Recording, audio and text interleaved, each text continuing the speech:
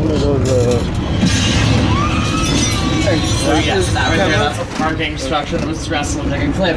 So our greens department does that and they can create any environment on the ground for us. And guys, we also have to create the weather. So right now, we are in old Mexico. We're gonna do a little bit of a weather demonstration for you guys. We're playing some thunder right now. There's the oh, thunder. Oh, guys, in actuality, the thunder would be edited in afterwards in post-production um, just because it's a little too distracting for it, uh, for the actors and also for the filming uh, process. Um, so that's why we do that. And then we're gonna shoot some water up into the sky. There it is from overhead sprinklers.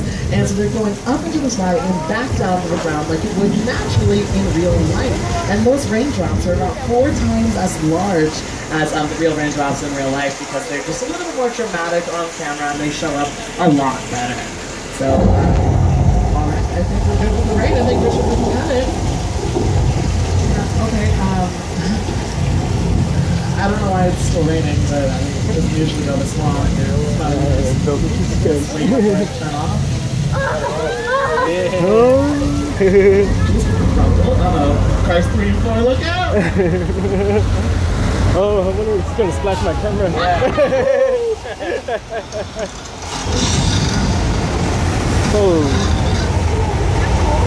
oh.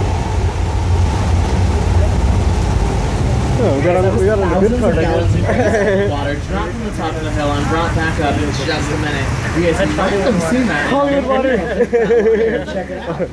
Keep your hands tight. You can't outrun the wolf, kid! Yeah, we'll see about that. Perfect. Uh, I gotta put the white guy on there.